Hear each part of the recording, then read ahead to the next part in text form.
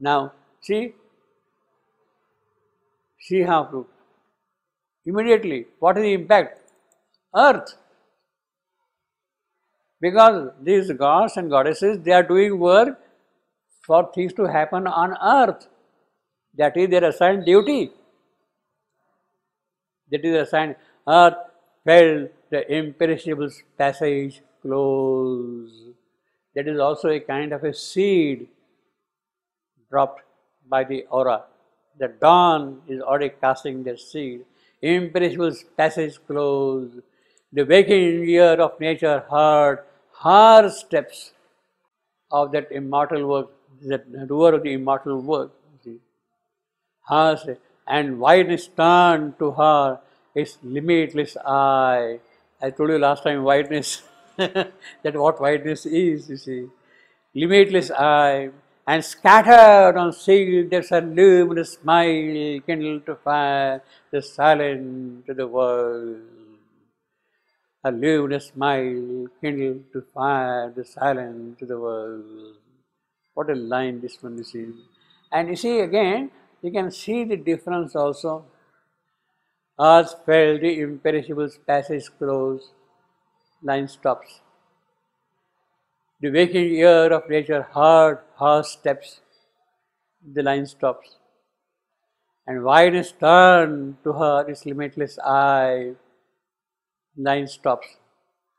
And scattered on seed, her luminous smile kindled to fire. Line is overrunning to the next line. enjambement, you see. What a powerful technique he has used, you see. That is real inspired poetry. It has to overflow that thing. A luminous smile kindled to fire the silence of the world, you see. Sans sourire lumineux, à lever le feu du silence des mondes. Correct? Uh, huh? How does he translate that? It's, uh, different. Kindled. Uh, he, he set the fire, he put. For kindled, he set the fire.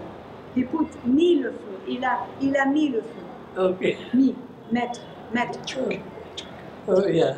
Uh, fire. we said like this in But it's- French, uh, we put, we But uh, my my LAV is also better. Is better? Alime, alime, alime, alime, alime, alime. Yeah, Correct. yeah, yeah. Alime. No, we don't say allumer the fire. We said, for example, allumer the oven, allumer the, the candle.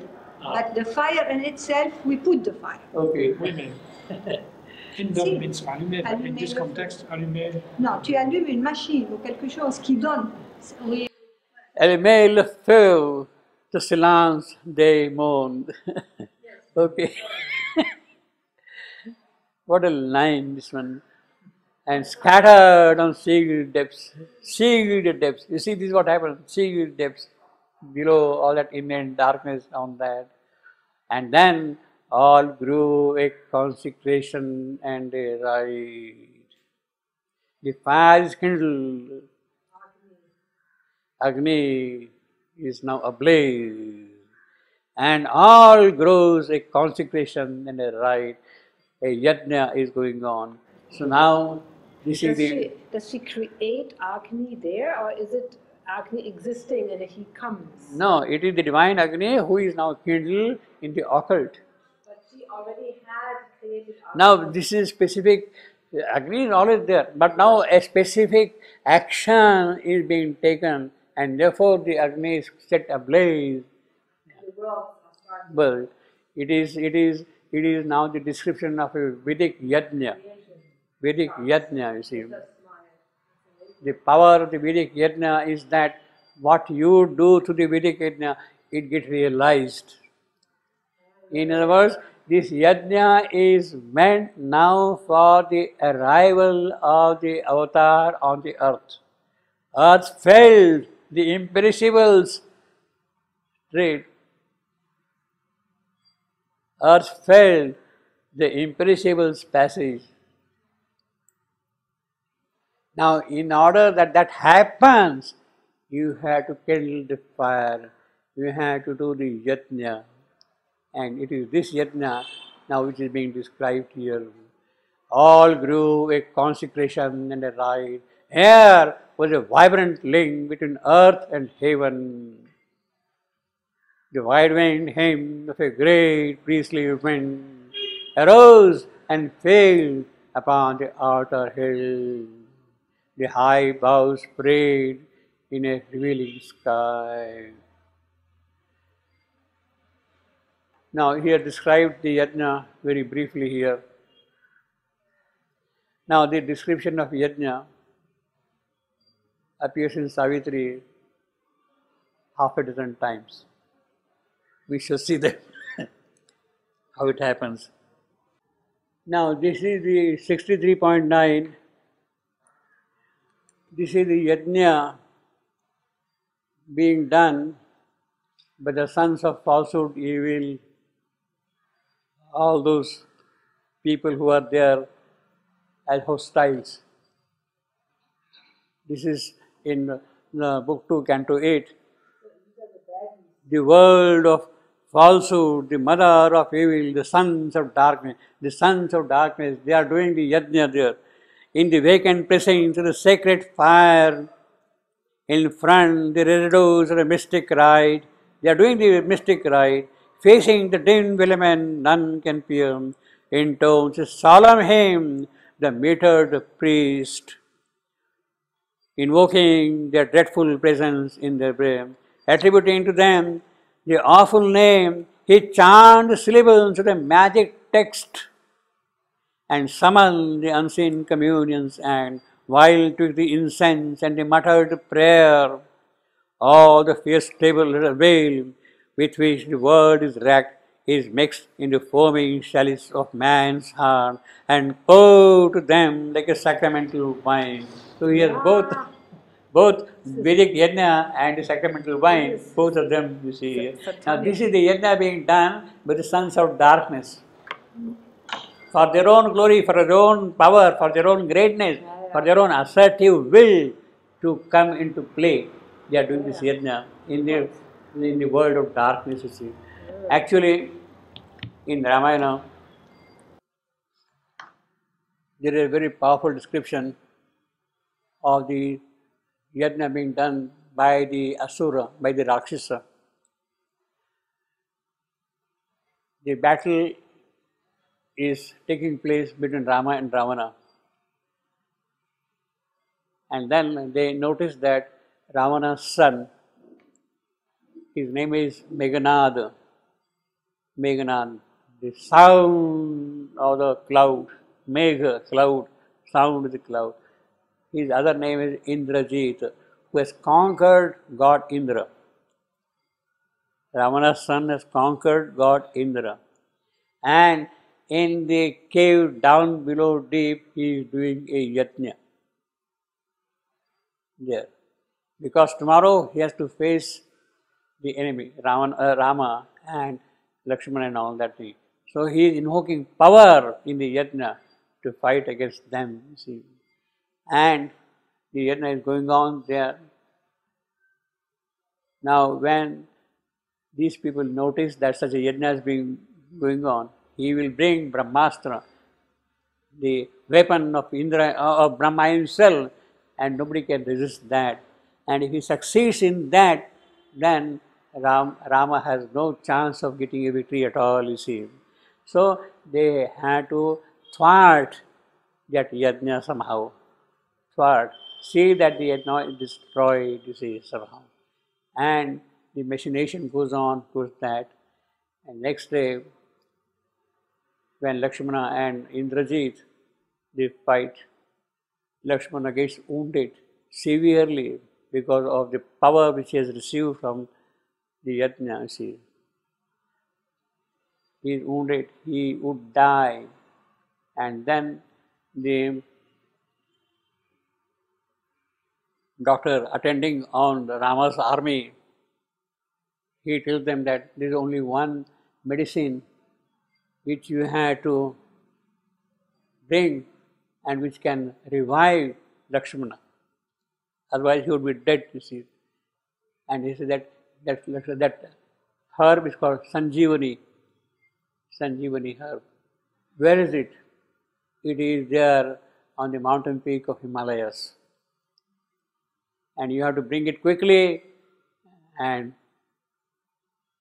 then only he can be revived, Lakshmana. Who can do that? Vanara. See, the tribe, mental tribe already has become now. See, Hanuman, he is the only person who can do that, who has strength and the capacity to do things what he wants. So he goes, flies straight to Himalayas. And then he does not know in Himalayas is, is this Sanjeevani or is this Sanjeevani because he does not know that thing. So he lifts the whole mountain and brings the mountain here on the battlefield. Now you select what what what herb you want. It's not my job. You select. Then they pick up the herb particularly, and Lakshmana is revived because of that. You see. Now these are already tribes who are helping God, who are helping Ramana, Avatar, who are already helping the avatar, you see. They are already evolved. They, eh, they are not apes. They are ape-like creatures who have that capacity. They are all people in the occult world. So the story of Ramayana is to be really read from the occult point of view. It is not that a monkey from the field is coming and helping you like that. It is there, there are different types of people altogether who are coming and helping you. So the yajna is thwarted, the Sanjeevani medicine is brought, and Lakshmana is revived. So that is the power of yajna being utilized by even the hostile forces, the sons of darkness to get power. So yajna is really very powerful. So if you want to get something done, do proper yajna. then you have got another one, 104.19. This is the marriage ceremony of Satyavan and Savitri.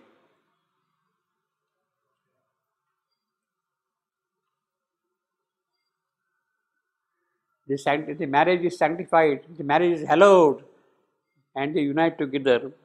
On the high glowing people, 1 point, 104.19, on the high glowing cupola of the day, fate tied a knot with morning's halo threads, while by the ministry of an auspicious hour, heart bound before the sun, their marriage fire the wedding of the eternal Lord and spouse took place again on earth in human form. A new act of the drama of the world. The united two began a greater age in the silence and murmur of that emerald world. And the mutter of the priest winds, the sacred world Mata, the priest went sacred poem, amid the choral whispering to the live, love's twain joined together and grew one. So, this is the halo thread, auspice our marriage fire. The Agni is kindled there, and in Agni is the witness for them joining together. He is the witness there, and that is a kind of a marriage which does not get dissolved. There is no divorce at all in such a marriage policy. See, when, when Agni himself is a witness, then he joins them together permanently, you see. So this is the this is the, this is the efficacy of the yajna. Then we have got here 142 103. This is most important. But now her spirit's flame of conscient force, retiring from a sweetness without fruit, call back her thoughts from speech to sit within in a deep room in meditation's house. For only there could dwell. 142, 103, 104, 103. 103. 142. 103. Got it? I am reading now 104. For only there could dwell the soul's firm truth, imperishable, a tongue of sacrifice. It flamed unquenched upon the central hearth, where burns for the high priest, house lord, and his maid, the homestead sentinel and witness fire, homestead sentinel and witness fire, from which the altars of the gods are lit, from which the altars of the gods are lit, you see. Now this is a great, wonderful sacrifice, a cosmic sacrifice. Now this is in the context of, we have seen already, but let me repeat again. This is in the context of the dialogue between Savitri and death. Now a stage has reached, she is arguing, she is saying this, she is saying that, and this fellow says, no, no, no, no, you may talk, I am not interested in all that thing. So she is seeing that it is a kind of a stalemate. She has reached a deadlock and she will not be able to really win death to get the soul of Satyavan back, you see. She sees that. Then she resorts to the yajna in the depths of her soul. She enters into her house of meditation. She is there. She enters into her house of meditation and deep in the house of meditation, what does she see? That a Vedic sacrifice is constantly going on there. There she sees a Vedic sacrifice. What is the Vedic sacrifice? This is what he says here. If it flamed unquenched upon the central hearth, central hearth, where burns for the high house lord and his maid, high house lord and his maid, the home homestead sentinel and witness fire, sentinel and witness fire, from which the altars of the gods are lit. So that is the sacrifice Savitri is seeing in the depths of her soul. And when she sees that, she identifies herself with that, she does that sacrifice, suddenly things change. Now she becomes the leader of the march. There is the spirit of Satyavan. Behind him is death. Behind them is Savitri. That is the procession, how it is going towards the home of death. Marching like that. Now from behind, Savitri is driving the procession. It is her will, her choice, her demand, her command which will make things move the way she wants them to move when this sacrifice is done. When, the, when that yajna is done, kindling her soul, she has got full power now to do whatever she wants to do. So that is the efficacy of the Vedic yajna here. He says, High House Lord and his mate. In the, in the traditional language, House Lord is called Yajamana and his spouse his companion, his wife, she is called Yajmanina. So the fire is being worshipped by Yajmana, the house lord, and his spouse together, Yajmanin. They are offering the fire offerings to the flame there is constantly seen. Now, who is this Yajman in the case of Savitri? Actually, this yajna is done at three levels. In the case of the individual, when we do then you do with the help of your wife and spouse, husband and wife, they offer prayers and worship and food or whatever is there, ahutis to yajna. On the cosmic scale,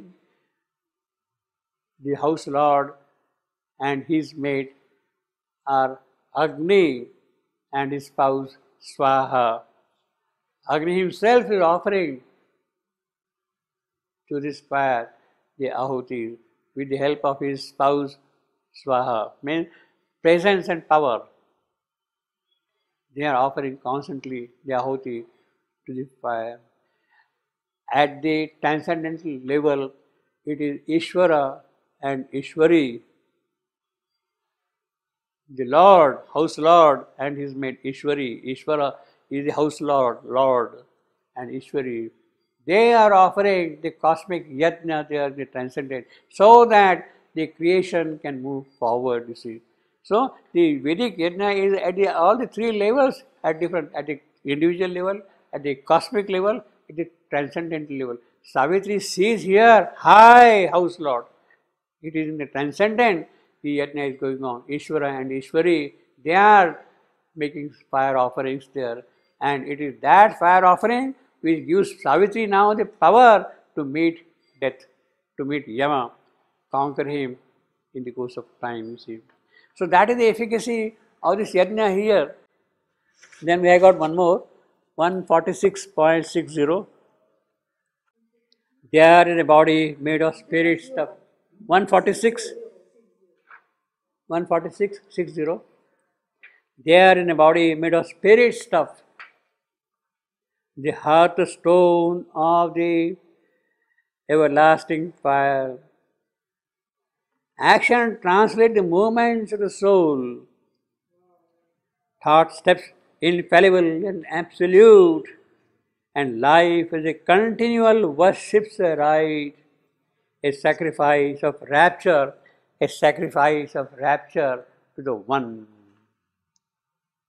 So this is again Vedic yajna. So at all these great events take place only in the success of the yajna.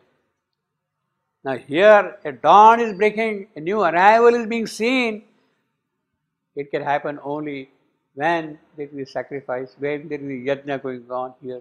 And that is what we have got here. In other words, here all grew a consecration and a rite. Here was a vibrant link between earth and heaven. The wide winged hymn, the great priestly wind. The chanting is going on. Who is chanting?